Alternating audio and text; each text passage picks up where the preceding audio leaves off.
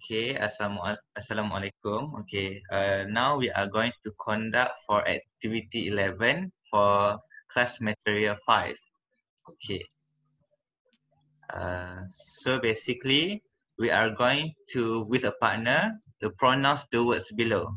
Okay, Afiq, are you ready? Yes, Danial. Okay. I'm ready. Okay, let's Should we start? Yes. Okay, let's start. Okay. Uh, you first or we do it together? I think together.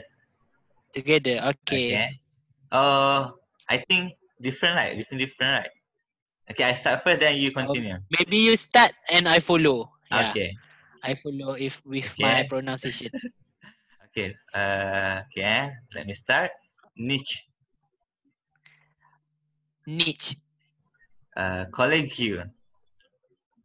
Co- college. College. College. Okay. Let, later we check. Okay. Graduate. Colleague. Colleague. Colleague. Uh, graduate. Okay. Uh, develop. Develop. Uh, schedule. Schedule. Entrepreneur. Entrepreneur.